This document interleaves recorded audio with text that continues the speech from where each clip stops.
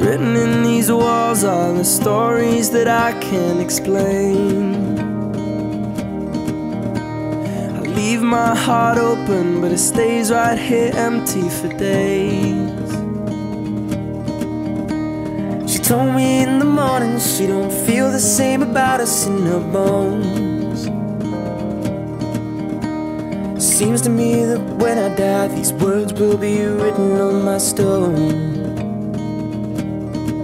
And I'll be gone, gone tonight. The ground beneath my feet is open wide. The way that I've been holding on too tight, with nothing in between.